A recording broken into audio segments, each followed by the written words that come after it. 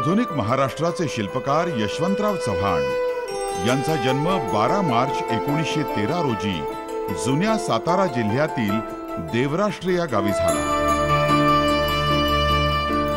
बालपणीच वडिलांचं छत्र हरपल्यानं त्यांनी दारिद्र्याचे चटके सहन करत स्वतःला सावरलं. आत्मविश्वासाच्या बळावर जीवनाची वाटचाल सुरू केली.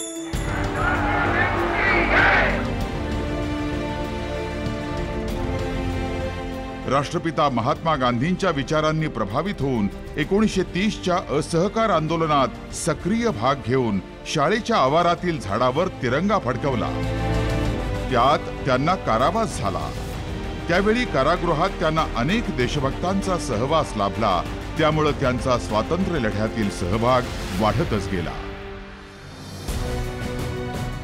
मातोश्रींच्या खंबीर पाठिंब्यानं बी ए एल एल बी पर्यंत शिक्षण घेतलं.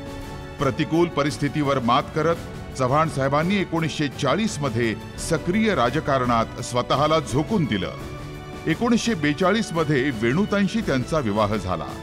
त्याच वर्षी सातारा जिल्ह्यातील चळवळीत प्रवेश करत ते काँग्रेसचे जिल्हाध्यक्ष झाले. वैचारिक ज्ञानाची शिदोरी बरोबर घेऊन यशवंतराव एकोणीसशे सेहेचाळीसमध्ये मुंबई विधानसभेवर निवडून आले आणि पार्लमेंटरी सेक्रेटरी झाले. एकोणीसशे बावन्न ते एकोणीसशे पंचावन्न या काळात मंत्री म्हणून विविध खात्यांची धुरा सांभाळली. तर एक नोव्हेंबर एकोणीसशे छप्पन्न साली द्विभाषिक मुंबई राज्याचे मुख्यमंत्री झाले. एक मे एकोणीसशे साठ रोजी संयुक्त महाराष्ट्र राज्य निर्मितीचा मंगल कलश आणून यशवंतरावांनी महाराष्ट्र राज्याचे पहिले मुख्यमंत्री म्हणून शपथ घेतली. यशवंतराव हनुमंतराव चव्हाण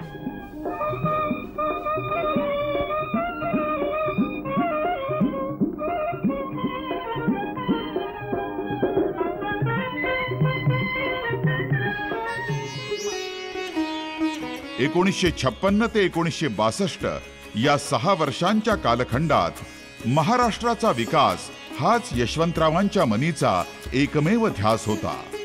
या काळात त्यांनी समाजहिताचे अनेक कायदे केले. कृषी औद्योगिक सहकार आणि सिंचन या विभागांच्या कामावर भर दिला. महाराष्ट्र राज्याला नवी दिशा दिली.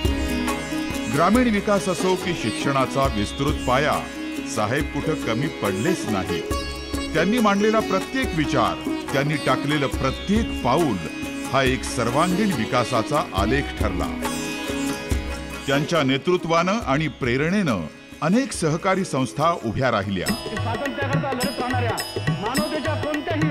एक मे एकोणीसशे बासष्ट रोजी जिल्हा परिषद आणि पंचायत समित्यांची निर्मिती करून राज्य विकेंद्रीकरणाचं एक ऐतिहासिक पाऊल त्यांनी टाकलं आणि तेच धोरण देशानंही स्वीकारलं. एकोणीसशे बासष्टमध्ये हिमालयाच्या रक्षणासाठी पंतप्रधान पंडित जवाहरलाल नेहरू यांची हाक आल्यावर देशाचे संरक्षण मंत्री म्हणून ते दिल्लीला गेले. महाराष्ट्राचा परिवार धावला वीर यशवंत आमचा प्यार देशाचे संरक्षण मंत्री गृहमंत्री अर्थमंत्री परराष्ट्र खात्याचे मंत्री आणि उपपंतप्रधान अशा सर्वोच्च स्थानावर काम केलेले यशवंतराव चव्हाण साहेब महाराष्ट्राचे सुपुत्र होते. याचं विस्मरण आपल्याला केव्हाही होणं शक्य नाही.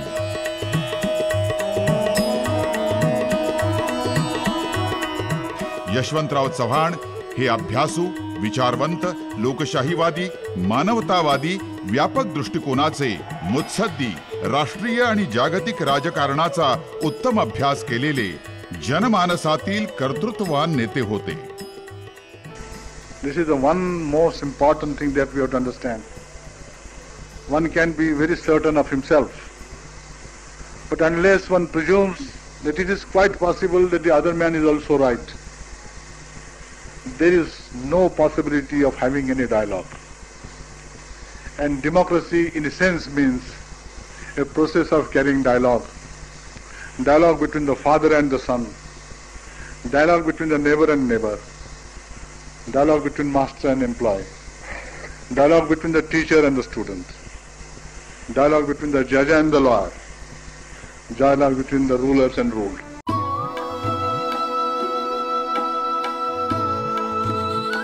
सर्व गुणांची आणि कलेची जाण असणारे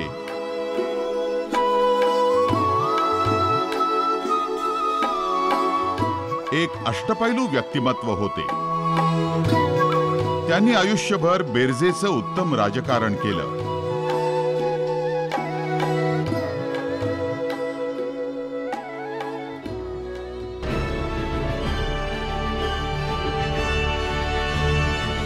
यशवंतराव हा महाराष्ट्राच्या राजकारणाचा जवळजवळ चार तप परवलीचा शब्द झाला होता. यशवंतरावांना उपजतच उत्तमोत्तम साहित्य वाचण्याची आवड असल्यानं ते साहित्यिकांच्या सहवासामध्ये खूप रमायचे. साहित्यिकांबरोबरच राजकारणी विद्वान पत्रकार इतकंच नव्हे तर सामान्यातील सामान्य कार्यकर्त्यांबरोबर यशवंतरावांनी आयुष्यभर जिव्हाळ्याचे संबंध ठेवले. त्यात कधीही कटुता येऊ दिली नाही.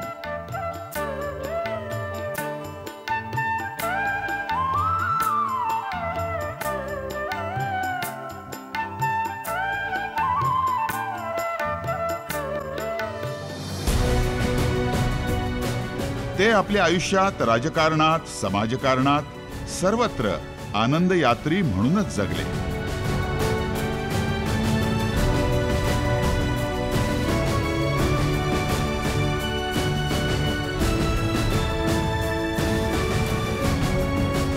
आजचा महाराष्ट्र चव्हाण साहेबांच्या विचारांवर उभा राहिलेला आहे.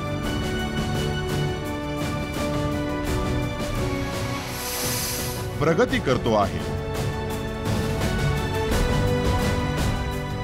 त्यांच्या पुरोगामी निर्णयामुळं लोकशाहीच्या संवर्धनाचं काम घडतं आहे.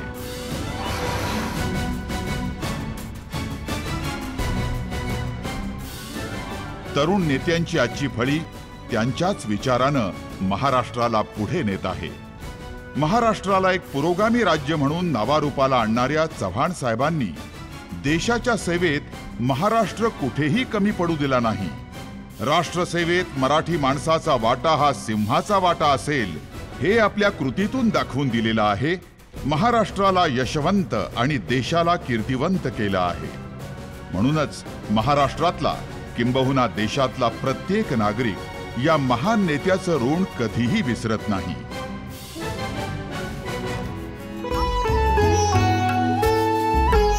कृष्णेकाठच्या या विकास योद्ध्यासमोर त्यांच्या स्मृतीत प्रत्येक जण अतिशय कृतज्ञतेनं विनम्र होत असतो.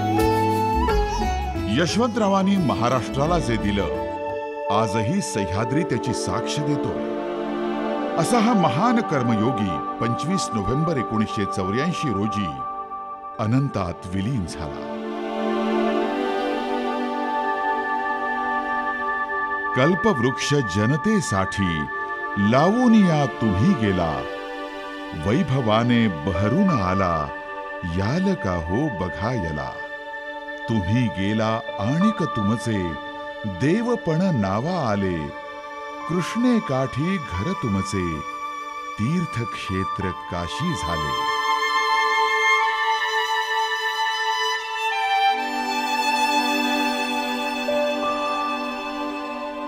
महाराष्ट्राच्या या महान सुपुत्राला शतकोटी कोटी कोटी प्रणाम.